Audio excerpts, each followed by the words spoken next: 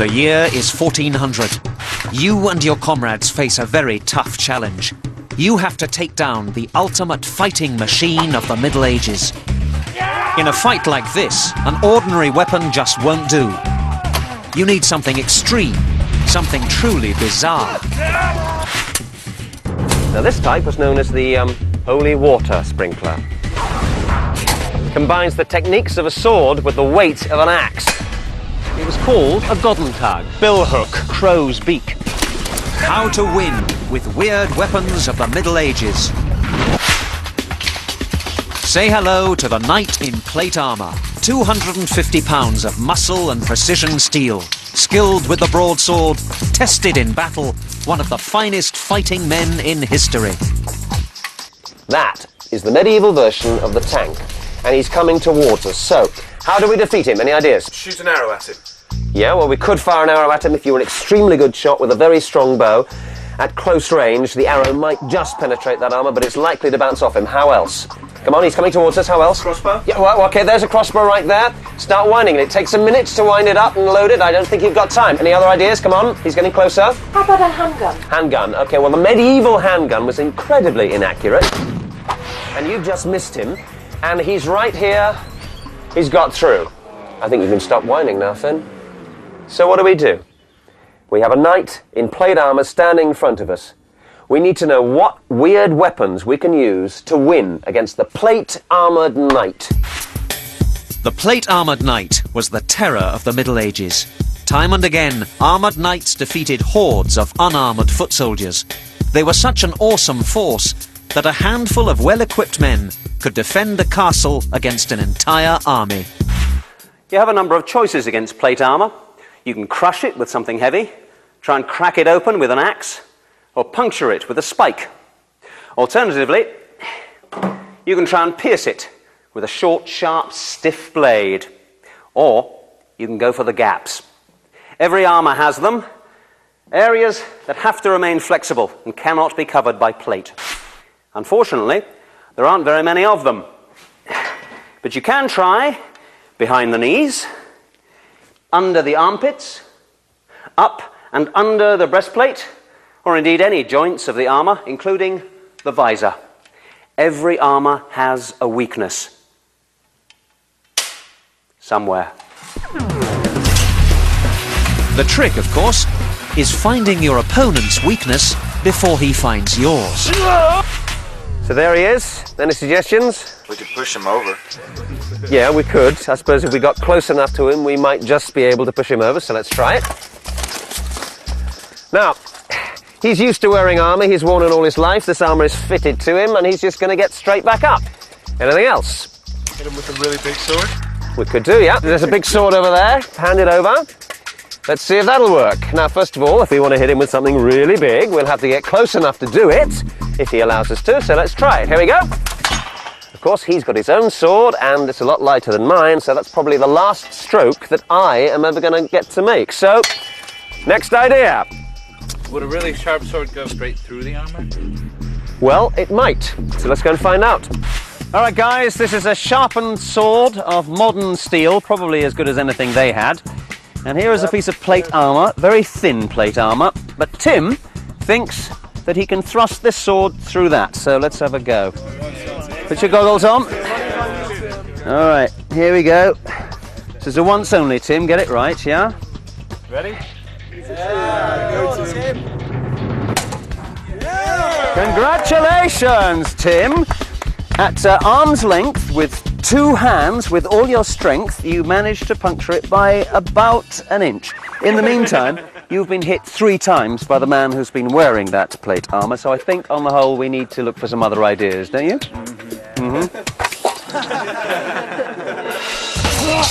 The evolution of specialized weapons actually began before plate armor was widely used. Until the 13th century, most knights wore a shirt of mail, woven out of interlocking iron rings. Chris, come on up here. Now, your opponent is a mail armoured knight. He has a weapon. You have two choices. You either get a longer weapon than he has, in which case you can strike him without him striking you, or alternatively, you have to get inside that guard of his. So, for that, you need a shield. If you have a shield in your left hand, you can parry his weapon away and move in. Good. Now you're close enough to hit him. So what are you going to hit him with? Well, several choices. Let's try this one. An axe. Now this is a double-handed axe. It'll certainly go through that mail armor, but there's no way you can use it with a single hand. So with a shield, you have to compromise. You have to use a smaller axe. Now that will go through him, hit him in the shoulder. But even a small axe could be unwieldy and inaccurate, and it didn't have the versatility of a sword. So the armourers came up with the first weird weapon, the falchion, designed to help you win against mail armour. Now the falchion, it's a very interesting weapon. Combines the techniques of a sword with the weight of an axe. All the weight is behind here, behind the point of percussion. Now this means that it was an extremely effective weapon against mail, could cleave right through it. Question is, how good was it against plate armor? Not very. Maybe we should try something else. Another adaptation of the sword was this late medieval broadsword. It's much shorter than the old cutting sword, and it tapers to this extremely sharp point. This is a magnificent weapon, but it needs to be made of the highest quality steel, otherwise it will shatter in combat. The most extreme version was this, the estoc, a purely thrusting weapon designed for thrusting into the gaps of armor. But thrusting swords like the estoc were only good if you were well trained and highly skilled. In the heat of battle, you might need something a little more basic. One of the most unexpected weapons of the Middle Ages was also one of the simplest, the wooden club. Apply a bit of technology, and you get this, the mace. Usually made of steel, between four and six pounds, with these longitudinal ribs on the end. Now these would make sure that any blow against an unarmoured man would be deadly. It also increased the effectiveness of any blow against plate. These came in various styles. You could have spherical and oval ones with spikes, and even very fancy ones like this. This was a knight's weapon for use against other knights. The mace was an extremely aggressive weapon, but to use it effectively, you had to get in close.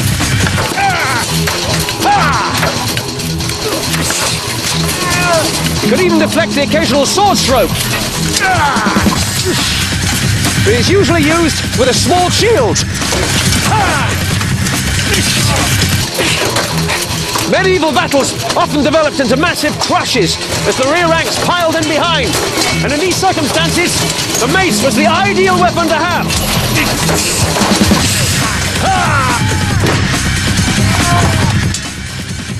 This man is at my mercy.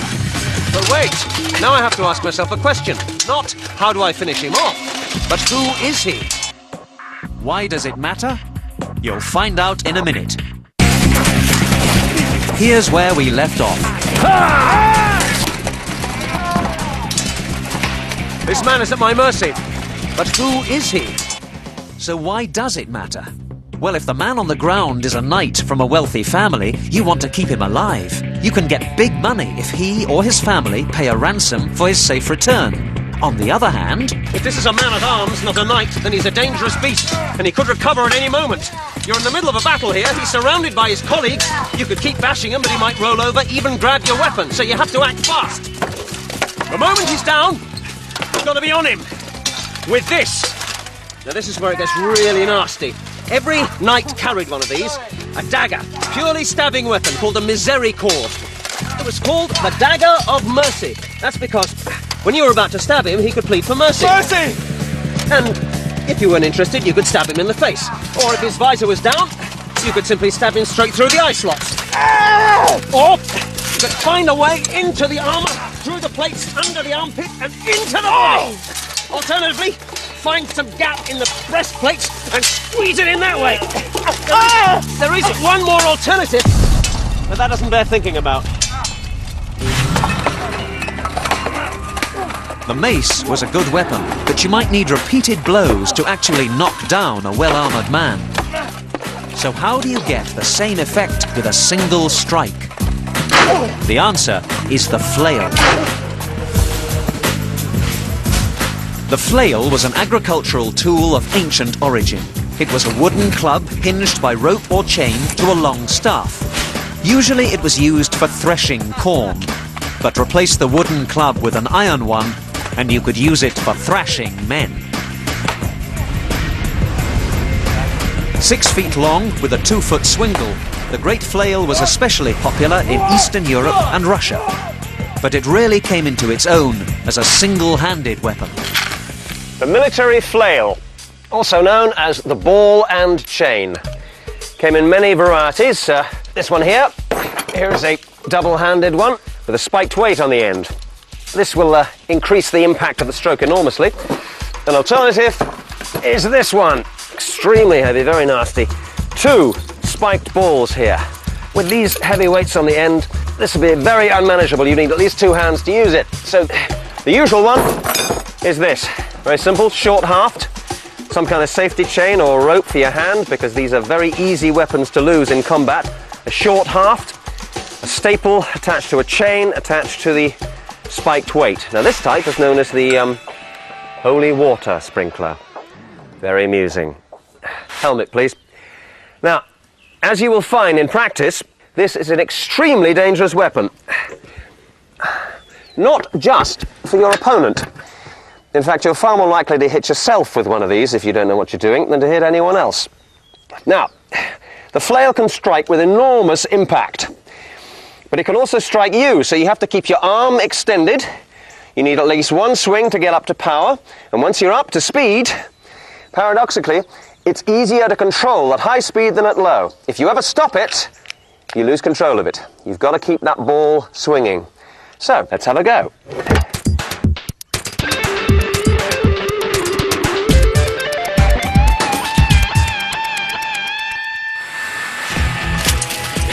The flail is a terrifying weapon to face. Not only do you have to watch the man, you have to watch that constantly circling ball. Now you can avoid it, or deflect it, or try and get under it. But it's rather like waiting for a bus. Just when you're not expecting it, one comes along. Or two. Or three. Oh. Now it's my turn. As good as it is, the flail isn't perfect. It's a lousy defensive weapon, and if you stop swinging it, even for a second, that's all your opponent needs. Oh, oh. oh. What's worse, it's absolutely exhausting. Another alternative weapon is the hammer. The wooden mallet was a tool for the peasant and for the common soldier. It could also be a pretty handy weapon. The knightly version was the war hammer. This was an excellent weapon. You could crack armour with this side. The hammerhead was often serrated so that it would bite into the armour, not glide off it. And on this side, a long narrow spike that could puncture plate. Here's another one, all steel, looking like a can opener. These spikes were known as the bec de Corbin, the crow's beak, and they were light enough for the old one-two. One, two.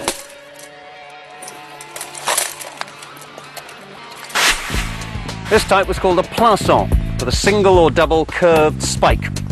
Looked exactly like an ice pick, and is extremely efficient. Of course, the problem with all armour-piercing weapons is that you only get one chance to get it right, because they get completely stuck in the armour.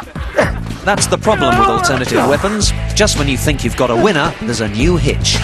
But no one said defeating an armoured knight would be easy. In a moment, we go long and lean, with a high-tech spear and a lethal tree trimmer. As we've seen, most weird weapons were inspired by existing weapons that couldn't quite do the job. The spear is a good example. Against plate armour, it was ineffective, and the wooden shaft made it very vulnerable. What the common foot soldier needed was a weapon that could make him a match for those men at arms in their highly expensive armour. Now, the spear was virtually useless for that, but he could try this the Aalspieß, the eel spear. Now, this has an armour piercing point on the end of a very long, slender steel blade with this rondel here to give you some protection. Now, this was a magnificent weapon. The advantage of the Aalspieß was that you could aim for the cracks and the chinks in the plate armour. or you could try and pierce right through it. Now, with the Aalspieß, you could keep coming back because this long steel blade was not easy to break. The disadvantages were that it was an extremely heavy weapon and all the weight at the business end. You couldn't have a shield with it because you needed both hands, which meant that you had to absolutely commit yourself to the blow. And if you failed. Ah! The odds seemed stacked against the common foot soldier. What he needed was a weapon that could cut, thrust, and chop at the same time. So, he found one. The billhook was an agricultural tool with a long hooked blade. It is still used today for hedging and lopping branches. As a weapon, it is of great antiquity. It was used by some of Alexander the Great's infantry. This was the medieval version of the billhook. A long single edged blade which curved into a hook, a spike at the end, and a fluke on the back ridge of the blade. This was the most popular medieval polearm, relatively easy to make, and used throughout Europe. This is the medieval billhook. Now, we infantry, we're not armed in plate like you guys. We may have leather and cloth and jacks and maybe some mail if we're really pretty well equipped, but nothing like the sort of technology that you've got on your fronts and backs. But at least we've got this weapon. This can be made by a good skilled local blacksmith. The blade itself divided into these three the spike, the hook, the fluke at the back. Step forward a minute. There's something about armour which you will immediately notice as you're walking, which is that it gets caught in things. There's lots of bits sticking out, lots of cracks that you can hook into, yeah, and just catch. So there's the, the elbows there, there's the shoulders here, there's bits of the body itself that you can hook into, and there you've got him like a fish. Now, of course, you have to get close enough to be able to do that, so what you want to do first is hit him hard, either with the spike, it'll go straight through armour if you hit him hard enough, or alternatively, you can use the fluke at the back. At high speed, would go straight through that armour. Or say that you were riding by me on a horse, so I'm down here as an infantryman. Ride by me, and I can sweep you straight out of your saddle. Now, you can use the butt against armour like that to push someone back. You can swing it around just to keep them at a distance. So, it's a pretty good all round weapon. But frankly, against a really good swordsman, you're not going to have much of a chance. Now, I could parry you, cut to my head. I could parry you there, but I'm completely exposed. Do it again.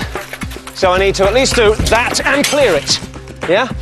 Uh, the problem is that you're going to come straight back cutting at me, so let's have a little routine here. We go to the head, I'm to clear it, straight back in the middle, there. All right, now, I chose to parry because I thought he was to give me a cut. He wasn't, he was to give me a thrust. So I'm dead. You can see my problem. I can only make one mistake. Our arsenal of weird weapons is just about complete, so maybe it's time for a short review. First, the falchion. Then, the mace. Followed by the flail, the hammer and the crow's beak, the Aalspieß, the billhook. There you go. They're all good, but are they good enough to help our team win its challenge against the plate armoured knight? This is one of the weirdest weapons of the Middle Ages. A long club fitted with iron spikes. It was a traditional weapon, roughly made by local blacksmiths. It was called a Goedendag, which means good day. The Flemish must have had a sense of humour. As they hit their opponents, they would say, Goedendag. It was used for thrusting, Goedendag. For striking, Goedendag. And for slashing open the flanks of horses. Goedendag!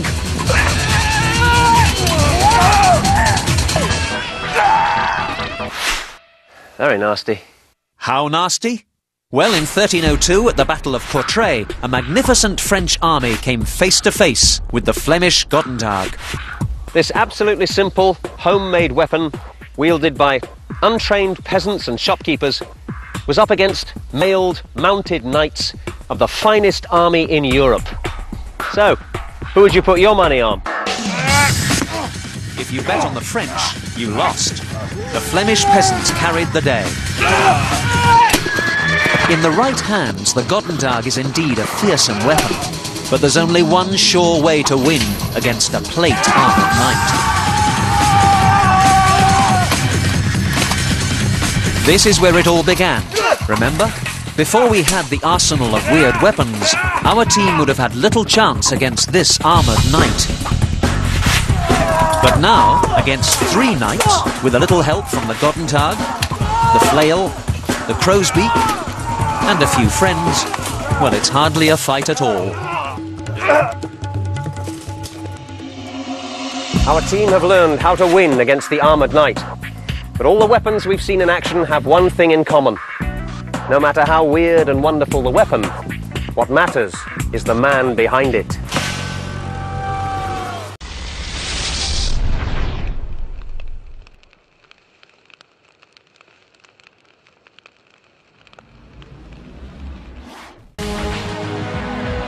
Was a time when the world seemed headed for destruction by hordes of warriors known to history as the barbarians. It appeared that only the Roman army stood between survival and the end of civilization. But what was the truth? Who were the barbarians? And how could they defeat the might of Rome? The weapons of the barbarians, next on Conquest.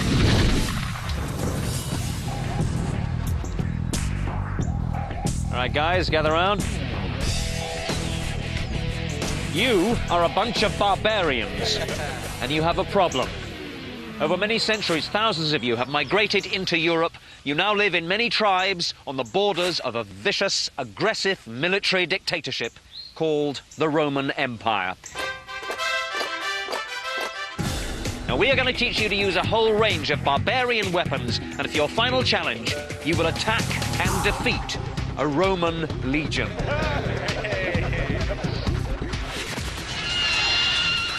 So who were the barbarians? The word may come from the Sanskrit for stammering. The Romans believed that their enemies were savage and could barely communicate. They were not Roman, therefore not civilized. This was untrue. Many of the barbarian tribes had advanced cultures and a highly developed morality, which they considered superior to the violent and decadent ways of Rome. Barbarians repeatedly defeated Roman armies in battle, but always seemed to lose the wars. Let's look at a map. Among the first barbarian peoples who made contact with the Romans were the Gauls. And that was the Roman name for the great Celtic civilization. Extremely artistic, very warlike. Mark, you're going to be our Gaul. Now, the Romans were terrified of you with good reason because in 400 BC you invaded Italy and sacked Rome. Now, the Gauls were known as swordsmen, using the long sword like this one. Now, you need strength and flexibility to use that weapon, which is why most of them didn't have armour. So you will go into battle wearing exactly what they did tattoos and otherwise completely naked. Are you kidding? Well, all right, sometimes they wore pants and tunics of wool and fur and hide. And like all barbarian peoples, they used spears and shields and short throwing spears called javelins. After many wars with the Gallic tribes, Julius Caesar conquered Gaul and crushed the final resistance in 52 BC. The Romans at last took revenge for the earlier sack of Rome in 400 BC. They slaughtered the Gallic people and destroyed their civilization. But it had taken them 350 years to do it. Elsewhere, other barbarians were giving them just as hard a time. Now, in 218 BC, the Romans invaded Hispania, Spain, where they fought for 200 years with the Celtiberians. Mario, that's you. Now, your guys were brilliant guerrilla fighters, and they had some remarkable weapons, including this one, the falcata, which is based on the uh, ancient Greek kopis, probably brought to Spain by Greek merchants. Now, this was made of the finest quality steel, and the design put the weight of the blade down towards the end, increasing what's called the kinetic efficiency of the blow. In other words, get out of the way. Now, the Celtiberians had another sword called a gladius. You might recognize this. It's a simple, short stabbing sword. And they had a spear made entirely of iron called a soliferrum. Now, these guys were great metal workers. It's possible that they even invented mail. So, Mario, you've got mail. Many Spanish and Celtic weapons were copied by the Romans. The short sword became the basis for the Roman gladius. The soliferrum may have been the antecedent of the Roman javelin called the pilum. The Romans knew a good weapon when they saw one. and they needed them. In 115 BC, what we think was an early Germanic tribe called the Cimbri invaded Italy. They defeated five Roman armies, one after another. This led the Roman general Marius to completely reorganize the Roman army. The Cimbri were defeated in 102 BC, but the Germanic invasions had only just begun. The Germanic tribes also used the spear and shield, but they had a bunch of their own weapons as well, including this one, the sax, a short chopping and stabbing weapon. Here, shove that in your belt. They also used the axe. This is the largest type, the broad axe. Now, this could really carve into a Roman shield, but you need both hands to use it. The smallest version was this the Francisca, or the throwing axe. But you just try throwing one of these. So that's what our team is going to do toss a variety of axes against these Roman shields. The throwing axe was useless against a shield. But it wasn't used like that. It was thrown high into the air in large numbers. It must have been very discouraging to get hit with one of these. I also want to show you this. It's a falx, a double-handed weapon popular with another group of barbarians called the Dacians. Chris, you're a Dacian? Now, the Dacians lived in an area of Europe that is now Romania. And from 81 AD, the Romans attacked them. You know, these Romans, they are not nice people to be neighbours with. So now we've got four basic types of barbarian. We have the Gaul, the Celt, the German, and the Dacian. They're remarkable warriors and all had excellent and different types of weapons. The barbarians came from different regions and brought different weapons into battle, but they shared the same tactics, or rather, tactic. There was only one. The direct frontal charge. There are the Romans. Get ready for them. After building themselves up into a frenzy, the barbarians would make a mass charge directly at the Roman line. The idea was to run in as fast as possible so that the Roman javelins would have less effect. Sometimes, on a signal, they would withdraw and then charge again repeatedly. They wanted the Romans to use up all their javelins and be forced back, or to get the Romans to break ranks and give chase. Then they could be cut down individually. These charges must have looked magnificent and terrifying. Unfortunately, they hardly ever worked.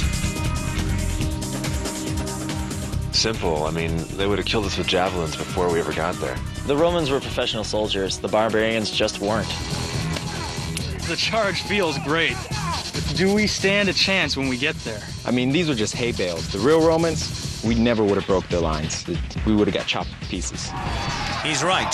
The Romans always kept a reserve of fresh soldiers to replace the front line, and plenty of spare javelins.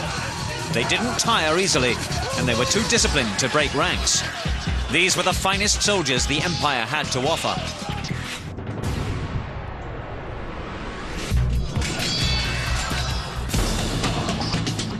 Classic Roman legionary from about 100 AD. So what do you notice about him? The absolute basics. He's a foot soldier. He's well protected. He is the best heavy infantryman in the world. But like all heavy infantry, he has two weaknesses. Cavalry and missile weapons.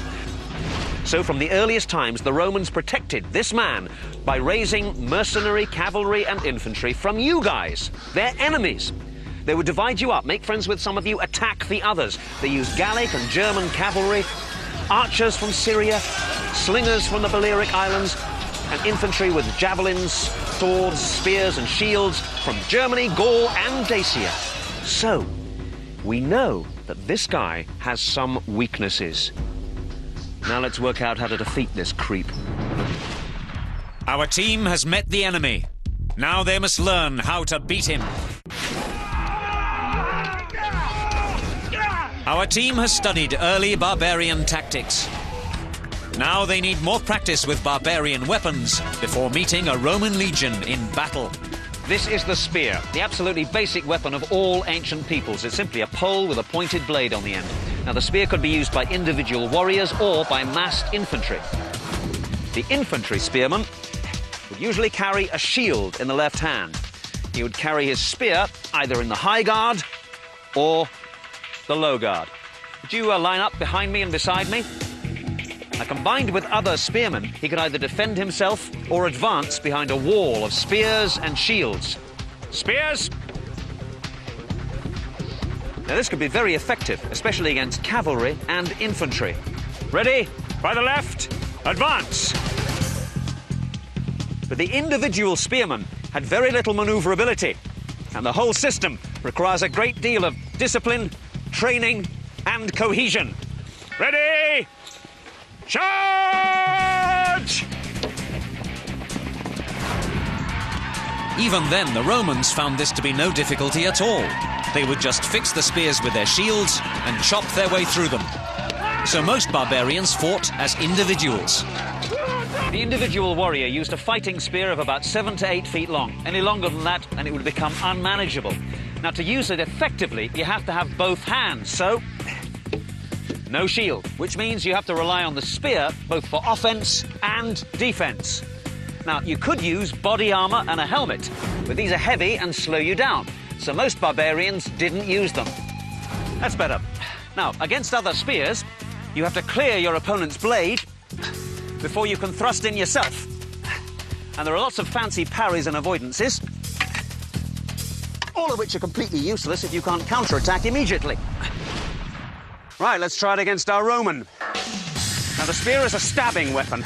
The idea is to keep it moving, keep it thrusting in repeatedly, changing direction with both the blade and the body. This keeps your opponent guessing.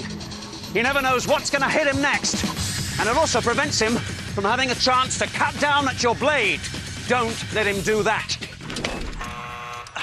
Because your spear then becomes a stick, and you look very stupid indeed. Now, the one great advantage you have with the Roman is distance. You keep stabbing in, trying to find his weak points. Go high, force him to lift up that heavy shield. Go for the legs and then high. Keep him guessing. Go for the shield side with a feint and then stab into the unprotected body. Feint, stab!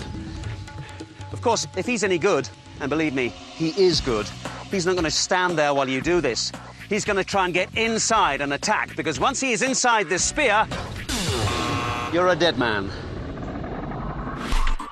The team try out spear techniques against each other, then against sword and shield. The problem with the spear is that in battle, you don't have the space to dodge about. You have warriors beside you and behind you. You may have two stabs with it before a Roman is on top of you.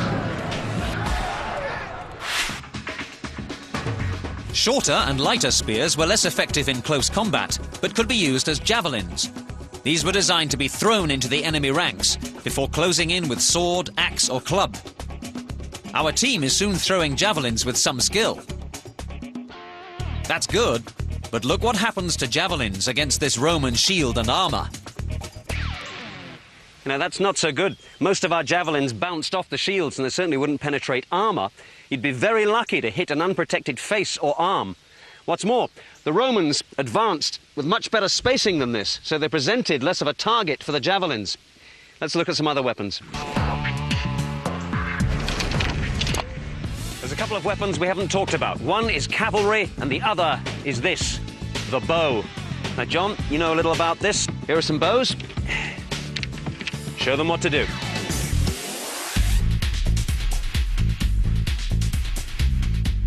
The bow and arrow is a relatively lightweight and all purpose weapon. Many barbarian tribes included bows as part of their arsenal. But in battle, they presented some of the same problems as the throwing axe. Shot straight on, many arrows would either miss their target or bounce away harmlessly. Instead, squads of barbarian archers would aim high in the air, creating a deadly rain and, in theory, terrifying the soldiers below. In close combat, barbarians used various types of cutting weapons. This is the Gallic long sword. It's a slashing weapon, very blade heavy. You can use it either with two hands or with a single hand and a shield. And against a lightly armored opponent, this would be deadly and it looks terrifying. But it will not penetrate a Roman shield. And if you get this stuck in that shield even for a second, he'll be stabbing into your guts. Now, an alternative is this the Dacian Falx, with a forward curving blade that went right over the shield into the helmet of the Roman. In fact, later Roman helmets had reinforcing crossbars to prevent this weapon killing the man who's wearing it. But, again, you've got to hit him with your first stroke, because if you don't, he will. Now, the axe. Everyone thinks this is a great weapon until you actually have to use it. It's true, it's very heavy, and if you actually get a good hard hit on the shield or on the armour, you'll cleave right through it. But he's not going to let you do that. The moment you start your swing, he's going to tuck under that shield, push in, and stab. Of course, um, you can get a shield yourself, but if you do that, well, you have to have a much lighter axe in the other hand, which has much less penetration. And even then, for every stroke you give him, he can get two stabs in. Now, here is a weapon that really might work the falcata. Now, this had a really useful downward stroke and was so heavy and so sharp that it could pierce through shield, armour, and helmet. It also had a really useful point on it. And what's more, it was used with a left hand buckler, a small shield called a caetra. Now, this combination had a lot more power than the gladius, and it was much more maneuverable than that heavy shield. But I still don't like the odds. To even things up, barbarians relied on a tried and true military tactic. If you can't beat 'em, join 'em. Barbarians who fought in the Roman army as auxiliaries learnt about Roman weapons and tactics. One such person was Arminius, who led the Cherusci tribe of northern Germany. He knew he had to force the legion to fight on ground where they could not use their massed formations. And this is the ground he chose. In the year 9 AD, three Roman legions were led deep into the Teutoburger forest. In the thick woods and undergrowth, the Romans could not fight as a unit, and their heavy armor, shields, and weapons were of no use to them. The barbarians ambushed them repeatedly, day and night, jumping at them from every direction. Of 15,000 Romans, only 300 escaped. The Romans could be defeated.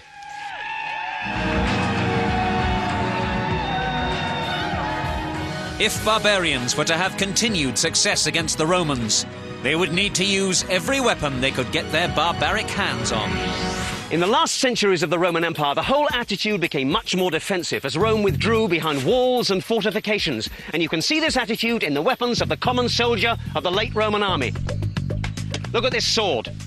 It's not a gladius, it's a spatha, a longsword. The gladius was sharp, short, aggressive, a get in close weapon. The spatha's much longer. It says, get away from me, get back. The gladius is out.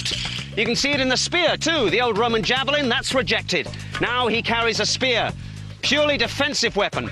You don't want to throw it, you want to protect yourself with it. And look at his shield, much smaller now. The armor is now mail, not plate.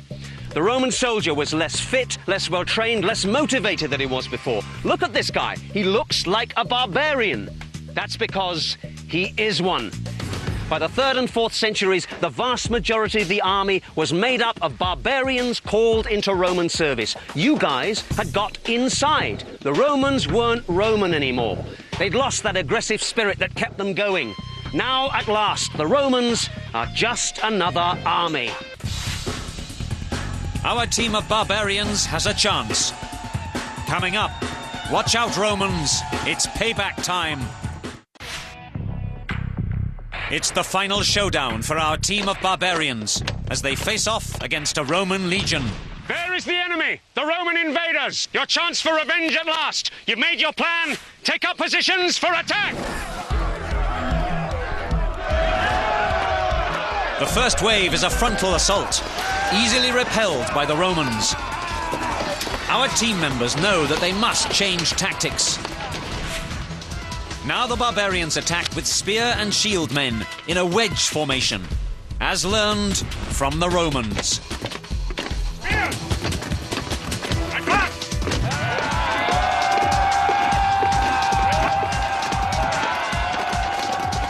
They don't try to fight with the Roman line, but to pierce it, to split it into two halves. Despite hard fighting from the Romans, their force is split up. Now each half can be attacked in a different way. The first half is bunched up by our barbarians, who run into the attack and then immediately withdraw. Ready? Draw! Then archers shoot at the gathered Romans. They are outflanked and shot down one by one, and those who try to break out are cut down.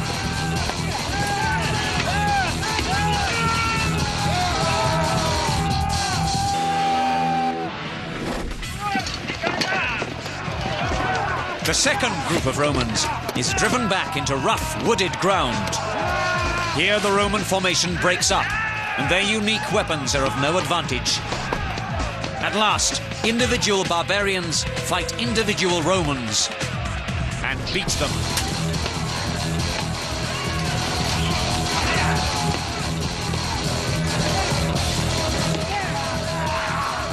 The ferocity of the barbarian warrior is unleashed, legions of Roman soldiers pay the ultimate price.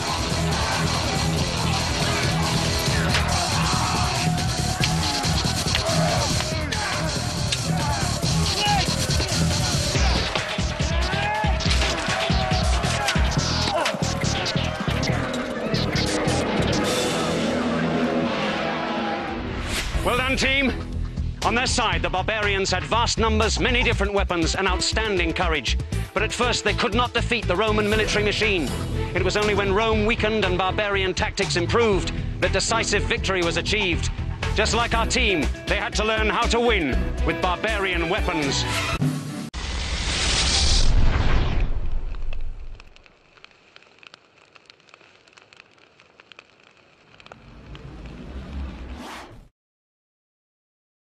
Oh, okay, there's a crossbow right there. Start winding it. It takes a minute to wind it up and load it. I don't think you've got time. Any other ideas? Come on, he's getting closer. How about a handgun? Handgun. Okay, well, the medieval handgun was incredibly inaccurate. And you've just missed him. And he's right here. He's got through. I think you can stop whining now, Finn. So, what do we do? We have a knight in plate armor standing in front of us. We need to know what weird weapons we can use to win against the plate armored knight. The plate armoured knight was the terror of the Middle Ages.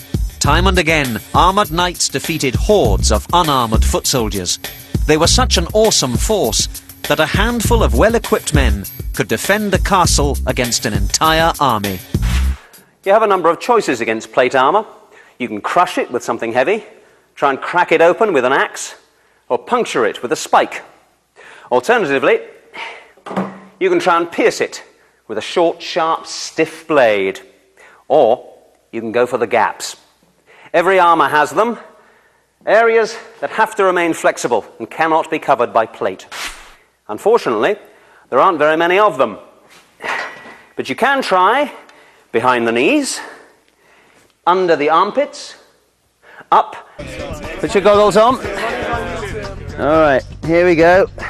This is a once only, Tim. Get it right, yeah? Ready? Yeah. Congratulations, Tim. At uh, arm's length, with two hands, with all your strength, you managed to puncture it by about an inch. In the meantime, you've been hit three times by the man who's been wearing that plate armor, so I think on the whole we need to look for some other ideas, don't you? Mm-hmm. The evolution of specialized weapons actually began before plate armor was widely used. Until the 13th century, most knights wore a shirt of mail, woven out of interlocking iron rings. Chris, come on up here. Now, your opponent is a mail armoured knight. He has a weapon. You have two choices. You either get a longer weapon than he has, in which case you can strike him without him striking you, or alternatively, you have to get inside that guard of his. So, for that, you need a shield. If you have a shield in your left hand, you can parry his weapon away and move in. Good. Now you're close enough to hit him. So, what are you going to hit him with? Well, several choices. Let's try this one an axe. Now, this is a double handed axe. It'll certainly go through that mail armor, but there's no way you can use it with a single hand. So, with a shield, you have to compromise. You have to use a smaller axe. Now, that will go through him, hit him in the shoulder. But even a small axe could be unwieldy and inaccurate, and it didn't have the versatility of a sword. So the armourers came up with the first weird weapon, the falchion, designed to help you win against mail armour. Now, the falchion, it's a very interesting weapon. Combines the techniques of a sword with the weight of an axe. All the weight is behind here, behind the point of percussion. Now, this means that it was an extremely effective weapon against mail, could cleave right through it. Question is, how good was it against plate armour? Not very. Maybe we should try something else. Another adaptation of the sword was this late medieval broadsword. It's much shorter than the old cutting sword, and it tapers to this extremely sharp point. This is a magnificent weapon, but it needs to be made of the highest quality steel, otherwise it will shatter in combat. The most extreme version was this, the estoc, a purely thrusting weapon designed for thrusting in. And under the breastplate, or indeed any joints of the armour, including the visor. Every armour has a weakness. Somewhere. The trick, of course, is finding your opponent's weakness before he finds yours. So there he is. Any suggestions? We could push him over. Yeah, we could. I suppose if we got close enough to him, we might just be able to push him over, so let's try it. Now, he's used to wearing armour, he's worn it all his life, this armour is fitted to him, and he's just going to get straight back up. Anything else? Hit him with a really big sword. We could do, yeah. There's a big sword over there. Hand it over. Let's see if that'll work. Now, first of all, if we want to hit him with something really big, we'll have to get close enough to do it, if he allows us to, so let's try it. Here we go. Of course, he's got his own sword, and it's a lot lighter than mine, so that's probably the last stroke that I am ever going to get to make. So, next idea. Would a really sharp sword go straight through the armor? Well, it might. So let's go and find out. All right, guys, this is a sharpened sword of modern steel, probably as good as anything they had. And here is a piece of plate armour, very thin plate armour. But Tim thinks that he can thrust this sword through that. So let's have a go.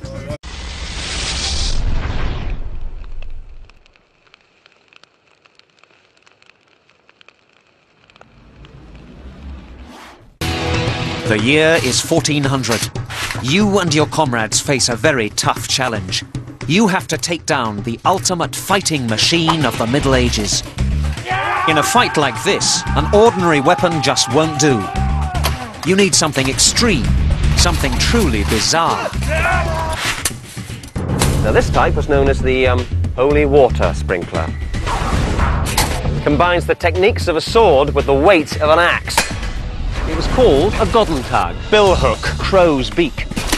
How to win with weird weapons of the Middle Ages. Say hello to the knight in plate armour. 250 pounds of muscle and precision steel. Skilled with the broadsword, tested in battle, one of the finest fighting men in history. That is the medieval version of the tank, and he's coming towards us. So, how do we defeat him? Any ideas? Shoot an arrow at him. Yeah, well, we could fire an arrow at him if you were an extremely good shot with a very strong bow. At close range, the arrow might just penetrate that armour, but it's likely to bounce off him. How else? Come on, he's coming towards us. How else? Crossbow? Yeah,